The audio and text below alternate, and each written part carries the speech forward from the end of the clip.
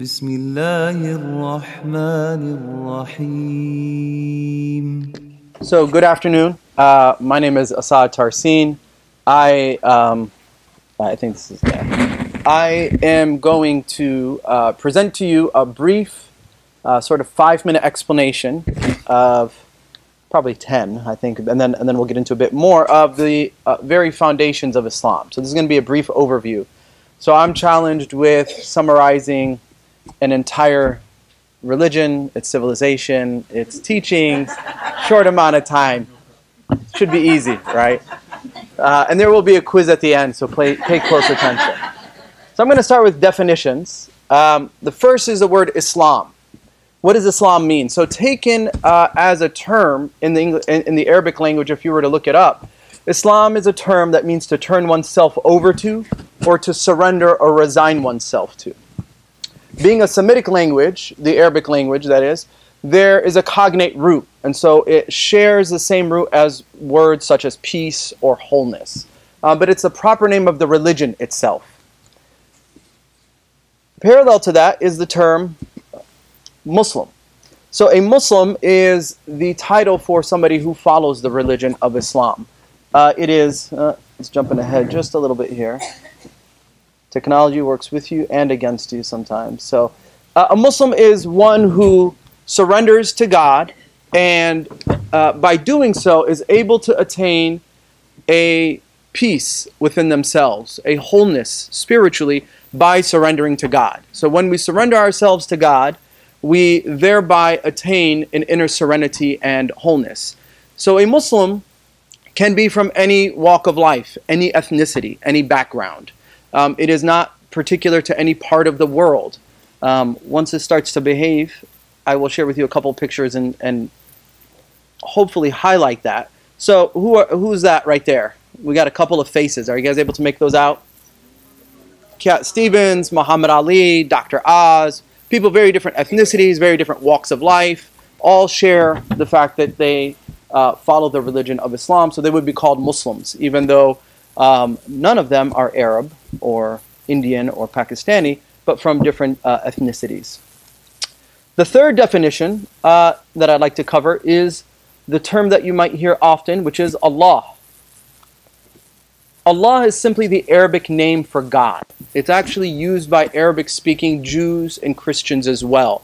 In fact, this right here, this image I have, is from an Arabic copy of the Bible, and that says right there, it's, it says Genesis, um, and it says, uh, "Fil bad'i khalaq Allahu," right? Allah, right? Created in the beginning, Allah created the heavens and the earth. Um, so there you have what is very common in all of the churches in the Middle East that are Arabic speaking, that they use Allah in their churches as well. So it's not a specific God, but it's the God of Abraham. Uh, and we believe it's a God who sent Noah and Isaac and Jesus, etc. It's all the same Allah, and it's not a different. It's it's a different language um, and a different name, but referring to the same uh, deity. So, what we believe as Muslims is that God sent an entire succession of prophets. We don't believe that religion began with the Prophet Muhammad, peace be upon him. Uh, we believe that all of God's prophets were sent in a succession and they all had a purpose and they all helped to build towards the culmination of the message. Uh, Islam doesn't see itself as something new, but as a completion and a restoration of previous messages sent by God. So, for example, we hold that all of God's prophets were in a state of submission to God. And so Muslims will sometimes say Islam with a lowercase i. Because if we think of Noah building the ark and obeying God's commands to do so, he was in a state of surrender to God. And so, in that sense, he was in a state of Islam, even though he wasn't following the religion Islam, which gets revealed several uh, millennia later.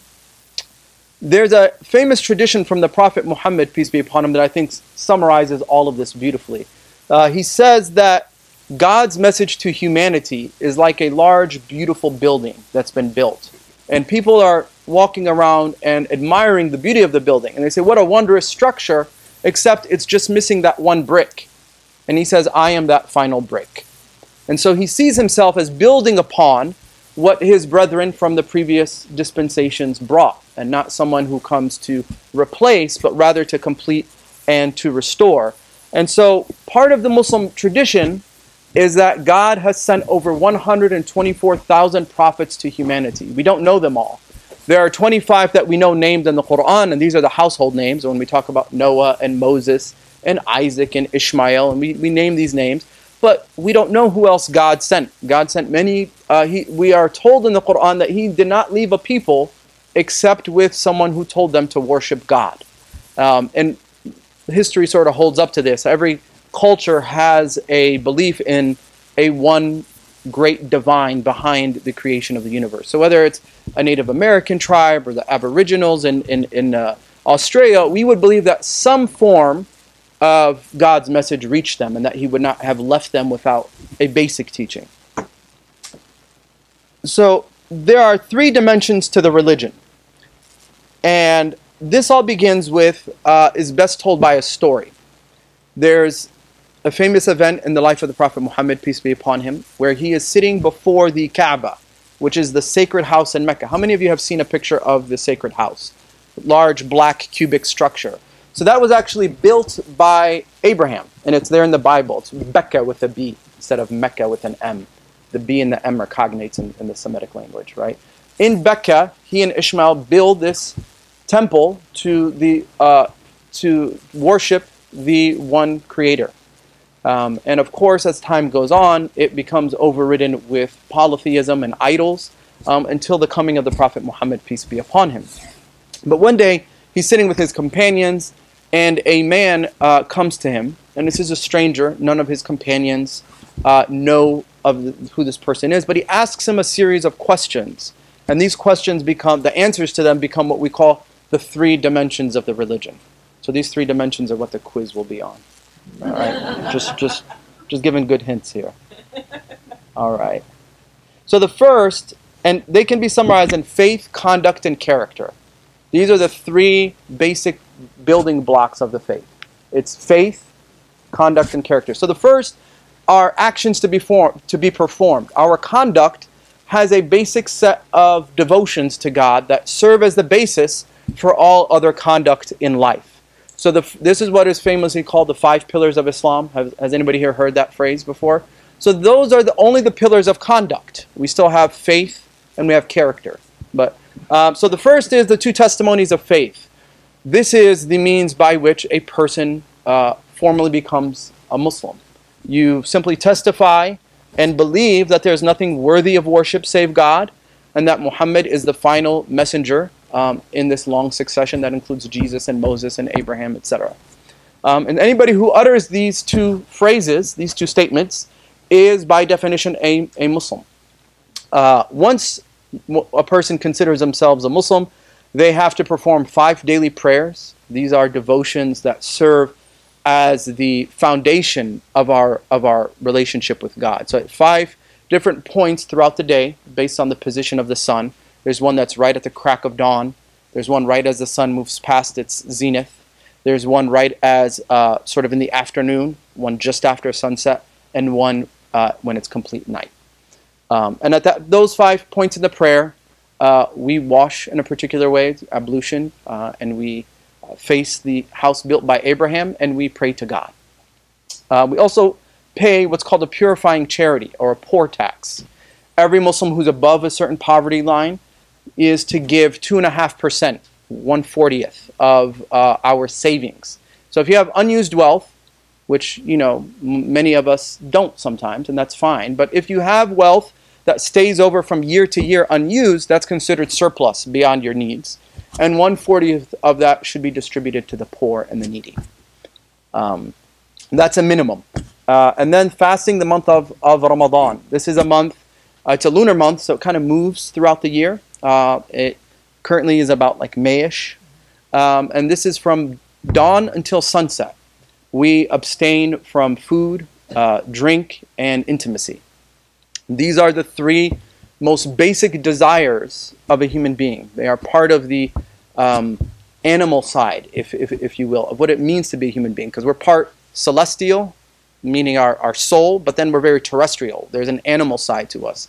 And taming that side is part of the purification process. the final is the pilgrimage to Mecca, um, that house that we've talked about now a couple times, built by Abraham. Once in your life, if you are physically and financially able. The second dimension faith. These are not actions that we perform, rather, these are realities that we must affirm in our hearts. The first is obvious you have to believe in one God. Uh, Islam has what's called radical monotheism. You don't simply believe in one God, you actively negate any other divinity beside him. Um, so this is very almost Old Testament like that. There is nothing divine other than God. Um, and we also believe that God has creatures that He's created in an unseen dimension that interact with us, angels. Uh, and then we have to affirm that God communicates with His creation through messengers. And at times, He even sends scripture with them. So there are four scriptures that, uh, at minimum, that Muslims must affirm the Torah, the Psalms of David, the Gospel of Jesus, and the Quran sent to Muhammad, peace be upon him. We also have to affirm that God sends messengers, and we have to affirm particular messengers. Uh, this is a point of difference, I think, between Trinitarian Christians and Muslims, and I'm sharing this more for education's sake.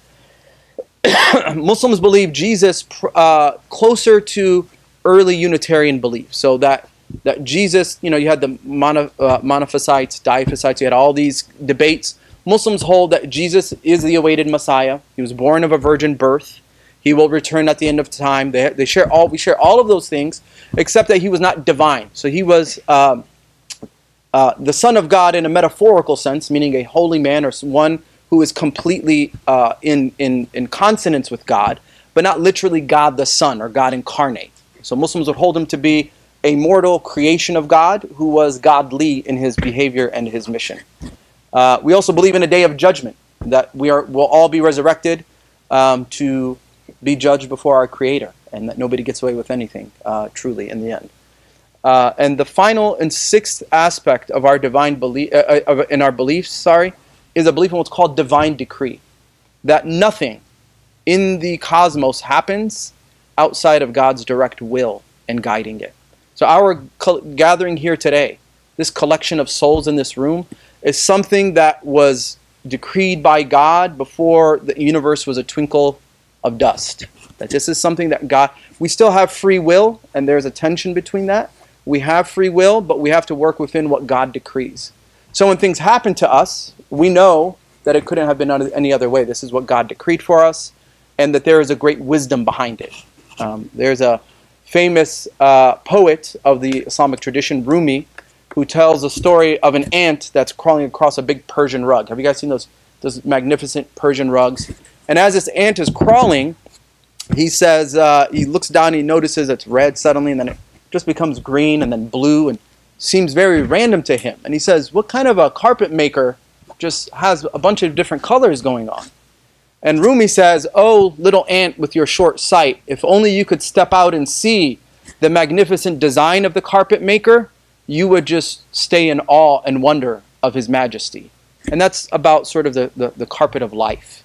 That sometimes we don't really see what's happening, and then when we're older, we look back and we say, you know, that was probably the best thing that happened to me, even if it seemed tragic at the time. Uh, the third dimension faith, conduct, and character. All right. People are awake. I like it. Before we get into character, I've got to touch just a little bit on the Islamic view of uh, humankind, of humanity. So, on the one hand, we believe that God created us with what's called a primary nature. This is our God given nature, that every human being, if uh, left to their natural state, and I mean no trauma, people are abused and they go through difficult things, and that, that can alter it. But we have an innate knowledge of right and wrong, and we have an innate inclination towards everything that is good and true and beautiful. That there is no healthy soul that doesn't look at a sunset and say like, "Wow, that's amazing." And that that natural inclination of what we go towards will eventually guide us to God. All of us have this internal compass that's pointing towards the divine. In fact, we see causation behind things because we know we're, we're always looking for the cause of the universe and the cause of our lives. So that's us on the one hand. On the other hand, we also have a selfish ego. We have a capacity, perhaps even a thirst for our carnal desires and to be utterly selfish, right? This is uh, the side of us that leads to road rage, which is such a strange phenomenon. Same people are just totally calm, and and you know, and if you bump into them in the mall, and then they get behind the wheel, and there's just something about my lane and my speed and my destination, right? So that's we have both of these realities to us. We're complex beings. We're composite beings, and so part of the development of character is the purification of the soul. It's a process by which we are to resist the urges of our carnal desires and our selfishness and our ego on the one hand, and then we are to augment and to embellish that primary nature. There's an aspect to children, if you see them, that can be incredibly giving. And then there's an aspect to children that when somebody touches their toy that they haven't even seen in two years, they suddenly want it, right? And so part of life is to learn to sort of trim away those aspects while enhancing and augmenting the other aspects. And when we do that, we have a purification of our souls that develops, where we will get over our anger, our jealousy, our envy, our all of these things, the contempt we have for people, the arrogance in our hearts, all of these things can be purged. And this is also attained, on the one hand, by uh, a way of engaging in the world in which we do, not we do not become worldly. So the world is here as our sort of the battleground of the soul. And it's a temporary place. And this was actually one of the great messages of Jesus, peace be upon him, that he came to remind us that this is just but a bridge to the afterlife. And you don't make this your permanent home.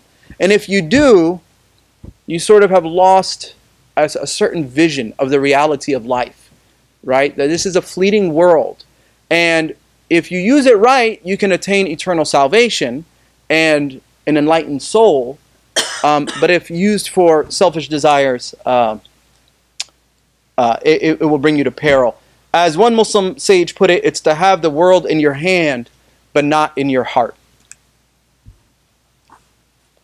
And at the end of this story, so this, this is a, a series of three questions that was asked to the Prophet Muhammad. What is, uh, what is Islam, which is the, uh, the pillars of conduct?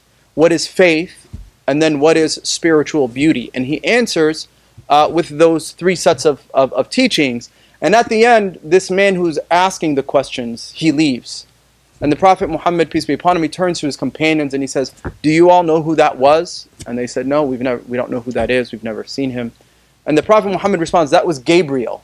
He came to teach you your religion. So this phrase is why uh, in Muslim teaching this has become the great summary of faith that any faith that has that has uh, conduct that focuses on the external, like the law, without the spirit, will be imbalanced. If we focus on spirit without law, there's an imbalance. If we're all faith and there's no need for uh, for works, that's an imbalance. So all three have to harmonize in order to have a complete expression of the religion. so again, just to recap here, Islam sees itself as a culmination of previous religions. Uh, if one surrenders to God, one can attain peace and harmony within themselves, within their homes, within their communities, and eventually with the world. Um, and Islam sees itself, this phrase, the middle road, actually comes from the Quran, uh, the holy book of the Muslims. Muslims see themselves as a middle road in which they merge the rich legal teachings of the Torah and the higher spiritual calling of the gospel. So, again, uh, faith, conduct, and character. And if you notice here, there's a, a, a, body component with our acts. There's the mind, that which we believe and conceive. And then there's the soul. So it is a mind, body, soul surrender to God that is complete. And to do any two without the third or any one without the other two, um, again, results in imbalance. So these are the three core teachings of the religion. Uh, thank you for listening and look forward to some questions.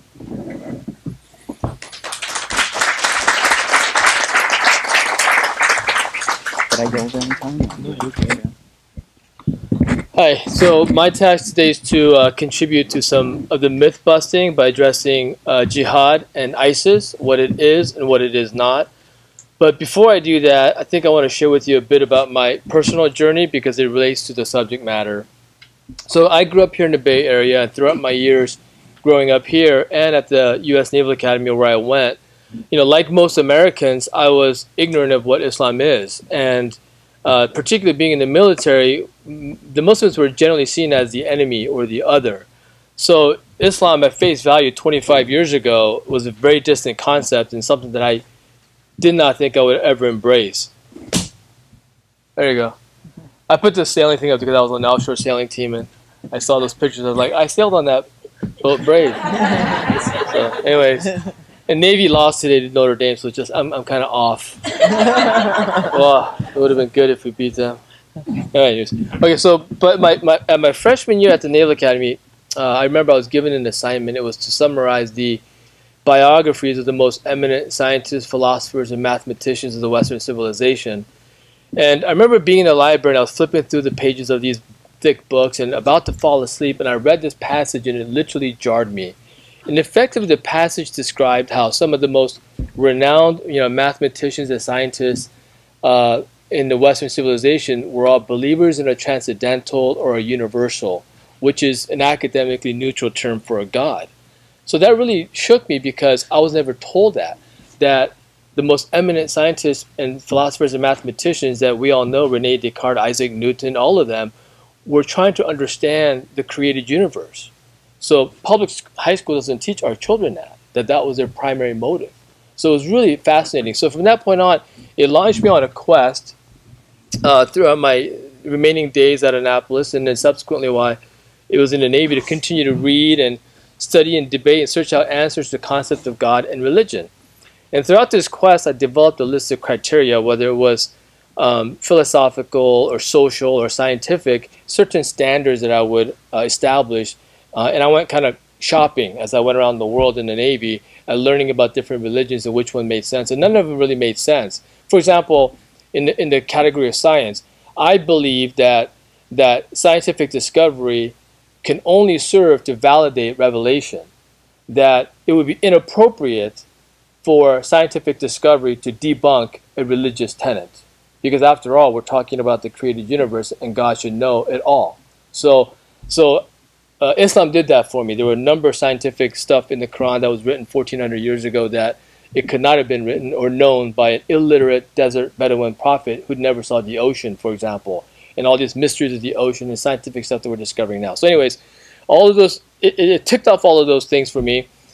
It, but in particular, out, being a, a, naval officer, I was really interested in um, the just war concept because, uh, you know, war is perhaps the most brutal sanctioned human acts that we can engage in.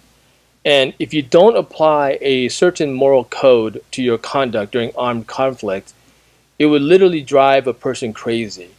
So PTSD, all of these symptoms and elements that we see in our veterans, in some measure, has to do with uh, engaging in brutality without a certain code of conduct.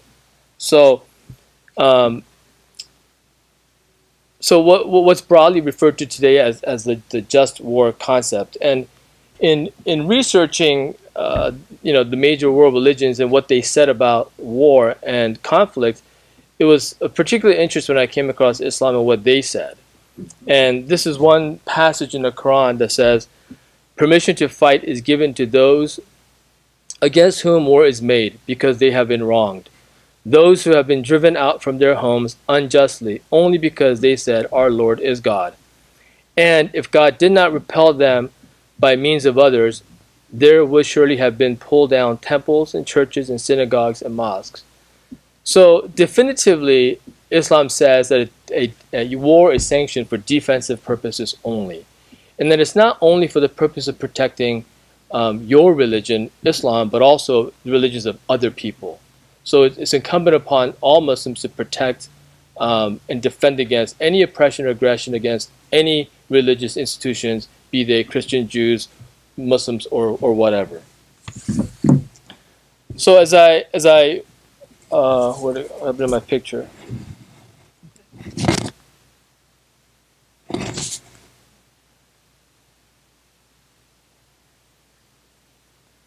So as I um, searched more, I discovered that not only was the concept of war addressed in the Quran, but the Prophet of Islam, Muhammad, peace be upon him, also taught his followers about this as well. Um, I also discovered that Muhammad was, among many things, a commander of armies. Um, he was sent by God as, a, in our belief, as the final messenger for all times, for all mankind. So he had to be a complete messenger. So there's examples for us on how to be a good parent, a husband, a son, a brother, a businessman, a student, a teacher, and yes, as a warrior as well. So all of this was in addition to how we should worship God through prayer and fasting and reflection. Uh, conflict being an inescapable part of humanity, Islam came to put limits and controls on it.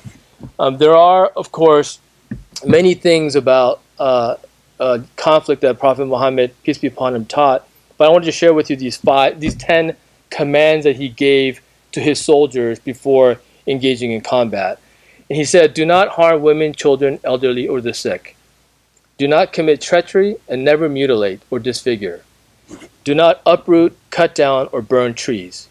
Do not harm any livestock except for food. In combat, avoid striking the face, for God created all of us in the image of Prophet Adam. Do not kill monks in monasteries, and do not kill those sitting in places of worship. Do not destroy the villages and towns. Do not spoil the cultivated fields and gardens. Do not, uh, do not wish for an encounter with the enemy, but when you are forced to encounter them, exercise patience. No one may punish with fire except the Creator. So, like weapons of mass destruction, chemical weapons, nuclear, all of those will be prohibited in Islam. And finally, accustom yourself to do good if people do good, and do not do wrong even if they commit wrongs. So, the significance of these commands really, are, in my mind, are, are two. One is that because Muslims believe that the source of these commands through Prophet Muhammad, peace be upon him, were from God, they're non-negotiable. They're non-negotiable. So, whereas any just war concepts that we've applied and learned through the Nuremberg trials, through the Geneva Conventions, and the history of, of, of combat, they're all negotiable because they're, they're, they're within the domain of, of human intellect. Whereas stuff that's being told to us from our, our prophet, they're not negotiable. The second important thing is that these rules laid out 1400 years ago uh, and others that I've read are even more strict and more humane than the collective body of just war concepts that we've we've uh, accumulated. Okay, so jihad. Jihad, the, the term jihad in Arabic does not in and of itself have anything to do with war or conflict. The foundational meaning of jihad is to make an effort or exert oneself in the way of God. So, for example, filial piety, being good to your parents, that is jihad. It's such a noble concept that parents in the Muslim world name their children jihad. Military combat uh, is not the, the, the, primary aspect of jihad, is, is, the, is the big point. It's important to note that, that jihad is not holy war, um, as commonly referred. Muslims do not regard war as holy. They, rather, they regard war as a means and not an end in itself. It's a means to durable and durable uh, peace and stability. Uh, when war is necessary, of course, you know Islam puts severe limitations on how to how to conduct war. And there's a concept called the greater jihad and the lesser jihad. Greater jihad is, as I mentioned, the struggle to improve one's own character. So, for example, um, the Prophet Muhammad, peace be upon him, said, the best jihad is to speak truth to a tyrannical leader. Another example is when a man came to him and asking permission to join the military, the Prophet Muhammad responded, perform jihad by serving your parents. Okay, so that's a greater jihad. The lesser jihad is defensive fighting. Um, uh, and, and religious conversion, territorial conquest, political power are not sanctioned reason for combat. It's for defensive purposes only, as I mentioned. Um, all Muslims are required to engage in the greater jihad, the self struggle to improve your character. But only some Muslims are required to participate in the lesser jihad, which is a military uh, combat. And you have to be a certain age. You can't be the only child. You know, there's certain criteria for you to uh, be a part of an army.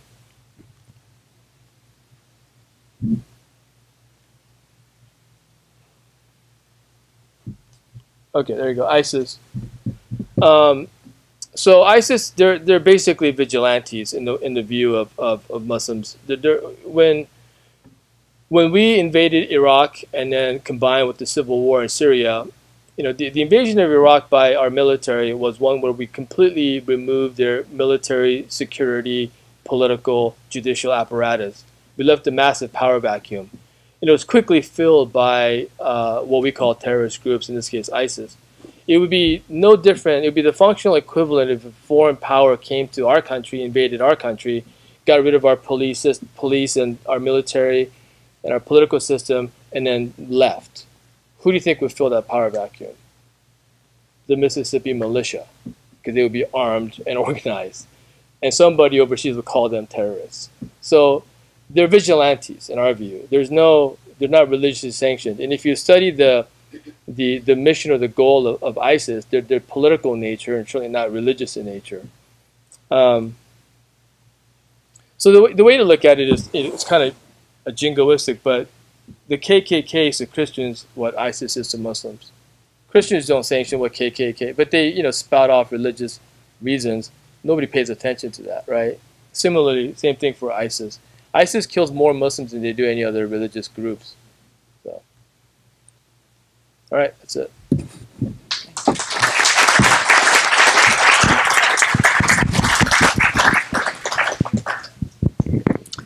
Okay. Good afternoon, everybody.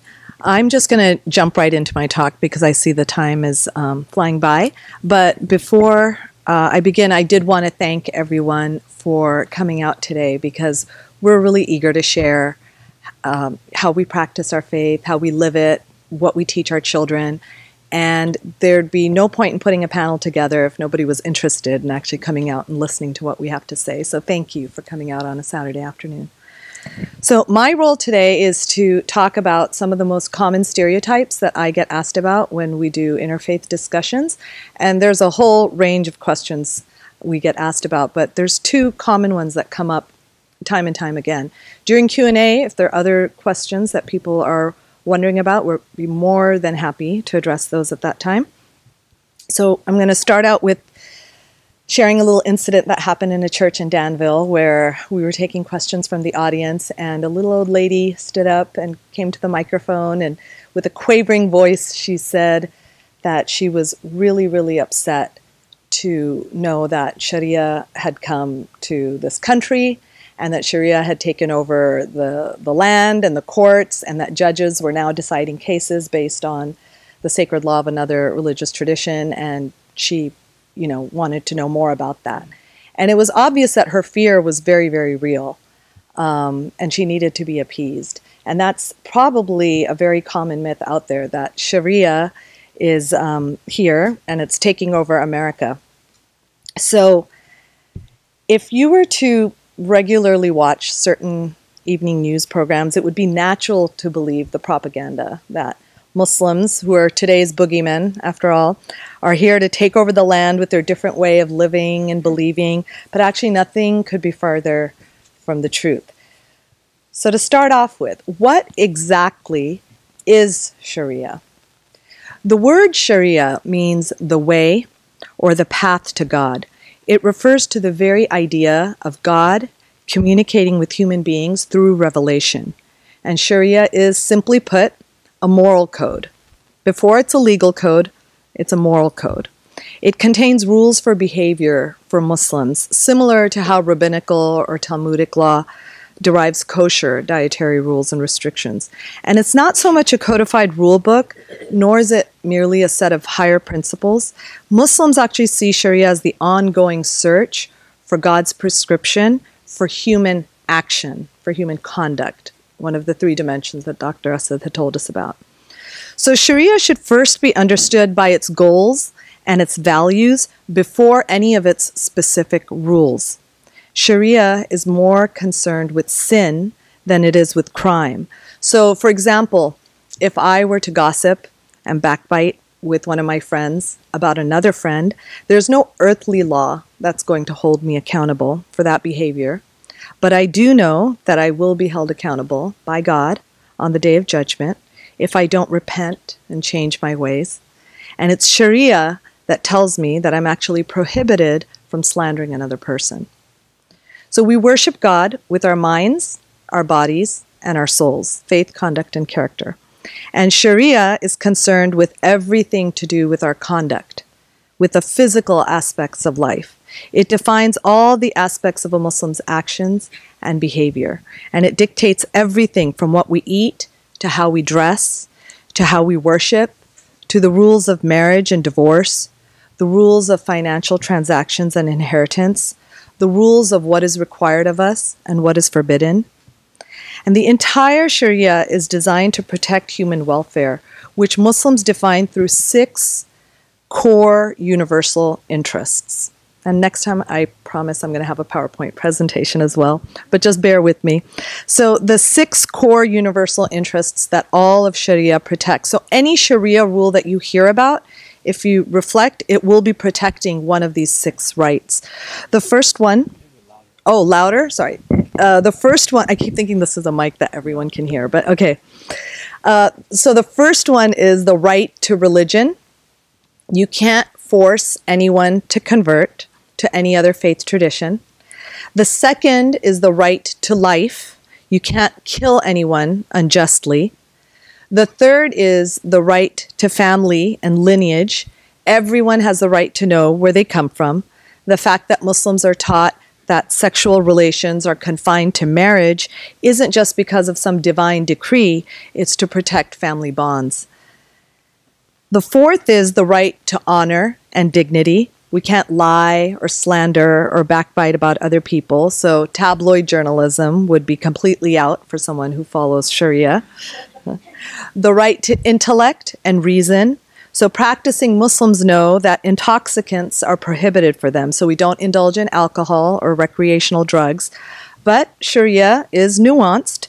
It's not just black and white, there are gray areas as well. So, for example, anesthesia in times of surgery It affects our ability to reason and to make moral decisions, but anesthesia has its own rules and exceptions. And then the sixth core universal interest that Sharia protects is the right to property and wealth. So we can't steal or usurp or cheat anyone out of what's rightfully theirs. Now, Muslim jurists discovered these Sharia rules through four primary sources. The first is the Holy Quran, which is our revealed book, our scripture. The second are the words and actions of the Prophet Muhammad, peace be upon him. The third is universal agreement amongst Muslim scholars or the Muslim community on any given issue. And the fourth is careful use of analogy. Now, one thing people may not realize is that Islam does not allow for anarchy or chaos. We have to have some form of government in place, and we have to live under it, even if it's not a Muslim one and we are required to respect and obey the laws of the land. In fact, I once learned from a Muslim scholar that if we deliberately, if we ever deliberately run a red light while driving, we need to ask God for his forgiveness because we broke a law that we had promised to follow. And that's just one example of how religion informs our day to day actions. Now, Sharia tells us that if we can't practice our religion in peace and safety, and if we aren't happy with the laws of the land, then we need to migrate from that land. And the highest law of the land in the United States is the Constitution. So, according to the Muslims' own Sharia, we are required to respect the Constitution. And if we don't, we're supposed to leave. And believe you me, with everything that's going on in the political landscape right now, there's probably no one more concerned about protecting the Constitution than your fellow Muslim Americans. So, what about penal code punishments? That's the elephant in the room. That's what people think about when they hear the word Sharia beheadings, cutting off of hands, whippings, stonings. Yes, there is a penal code within the Sharia. Just like the United States law has capital punishment for certain offenses, Sharia law also includes a form of capital punishment. But the important differences between capital punishment in American law and capital punishment in Sharia law are two. First, the penal code is first and foremost meant as a deterrent. It's not actually meant to be implemented. And the second is that the evidence required to establish proof of a punishable crime makes the punishment almost impossible to implement. For example, the penal code for adultery is death. However, the evidence required to prove adultery is four witnesses who actually witnessed the act. So, as you can see, the punishment is there, but it is first and foremost meant as a deterrent. It is meant to illustrate to human beings the enormity of the sin in God's eyes. And it is meant to ensure that these types of crimes or sins that affect society at large are not being done out in the open and are not becoming the norm. Now, if we want to look at how Sharia is implemented, we can look at the Ottoman Empire, which was the last legitimate Muslim government that ruled a large portion of the world for almost 700 years. The punishment for adultery during that time, all 700 years, was only implemented once. And even after that one time, the scholars protested it, and so it ended up never being repeated again.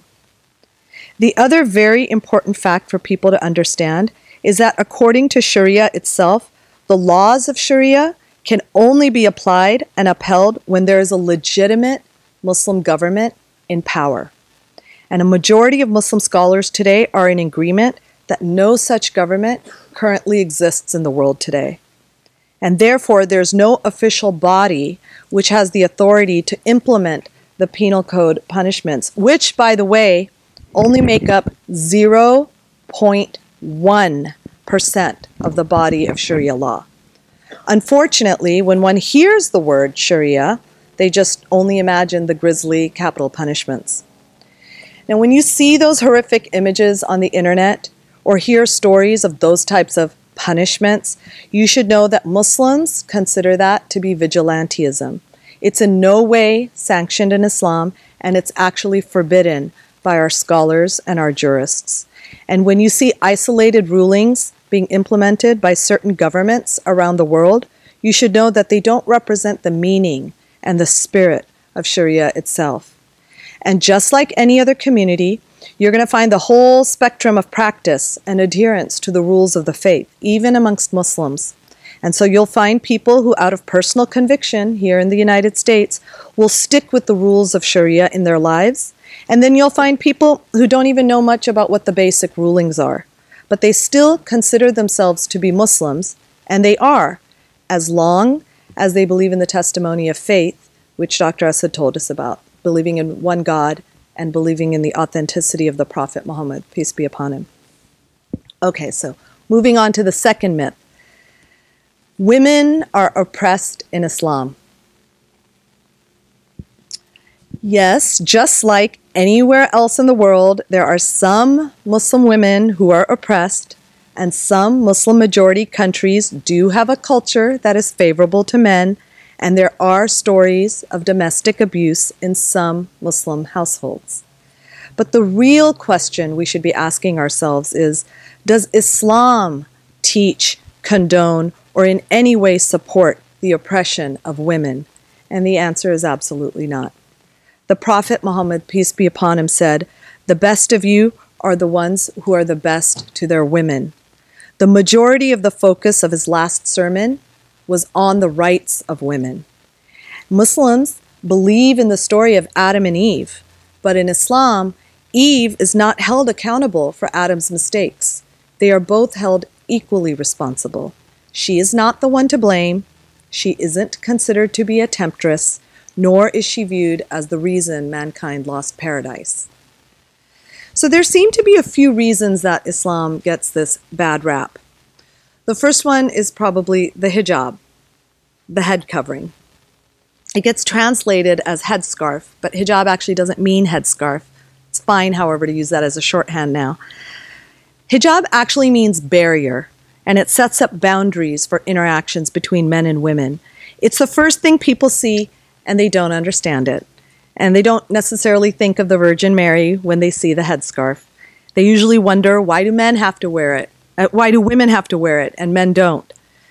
Muslim men also have parts of their bodies that they have to cover according to Sharia. they must cover from navel to the knee. So they can't show their kneecaps or their belly buttons, not allowed to wear Speedos. so, why the different rules? Well, we have different rules here in America as well. Uh, if a man and a woman were out jogging in the park on a hot day and they got sweaty and uncomfortable, the man could take off his top and continue running bare chested. If the woman did the same thing, she'd be arrested for public indecency. Why? Why the different standards? Why the different rules? We believe that the rules for how we dress are divinely inspired and that God understands what is best for us since He is our Creator, after all. The second thing people see visually is if they were to visit one of our mosques or if they saw the Muslims praying in a congregation, they would see that the women are praying behind the men. And oftentimes people bring to mind the framework of Rosa Parks. They think, you know, the way Rosa Parks was pushed to the back of the bus because she was considered a second class citizen. So much must be the case with the Muslim women as well. The truth is that where you pray in the congregation doesn't give any indication of your closeness to God. Islam gives both men and women equal access to getting to God, to getting to paradise, to getting to His divine pleasure. If you were to see us in our congregational prayers, you would see that our prayer is actually very intimate. We stand close together, shoulder to shoulder. We stand, we bow, we prostrate on the ground with our foreheads on the floor and our bottoms up in the air. And most women, especially Muslim women, would not be comfortable being in that kind of vulnerable position with a man behind them. So, really, where the women are praying in the congregation has to do more about privacy and modesty and being able to focus on our relationship with God and not worrying about whom we're standing next to or in front of or behind. Okay, and the third uh, reason that people often think that women must be oppressed in Islam is people often confuse how women are treated in countries like Saudi Arabia with how Islam treats women in general. So, the two holiest cities in Islam, Mecca and Medina, happen to be in the land that is currently called Saudi Arabia. However, Saudi Arabia does not hold religious authority over the world's population of Muslims. Saudi Arabia is not for Muslims what the Vatican is for the Catholics. Their government can make whatever laws they want to, but that doesn't give them legitimacy over the world's population of Muslims. The fact that women only just started driving in 2018 is due to a Saudi law. I've had people ask me, how can you be part of a religion that doesn't allow you to drive? I'm not part of a religion that doesn't allow me to drive. So, Muslim women have been heads of state in Muslim majority countries. One of the current vice presidents of Iran is a woman. Even in America, women have not managed to shatter that glass ceiling yet, but who knows? Things might be changing soon. There's hope. And um, so those are the two myths I wanted to cover. And if there are any others, we can tackle them during Q and A. Thank you so much for your time.